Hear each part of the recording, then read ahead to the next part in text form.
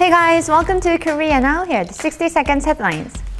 North Korea's official newspaper warned Friday of immediate and powerful strike against any threat to infringe upon the state's dignity and survival. The communist state again called for all-out efforts to build up its national defense capability. BTS's two albums kept their presence on Billboard 200. According to the latest chart, Map of the Soul Persona ranked number 178, and Love Yourself Answer re-entered the chart at number 181, proving their unchanging popularity. Super Junior's Kim Hee-chul and Twice's Japanese member Momo are in a romantic relationship. Their management agencies confirmed their relationship, saying after getting along as close colleagues of show business, the two have recently started liking and dating each other. Yoo Sang-chul, head coach of the South Korean football club Incheon United, has resigned from his post after suffering from stage 4 pancreatic cancer since last October. According to industry data, Yonhap News TV was the most watched cable news channel in South Korea for the fourth consecutive year in 2019.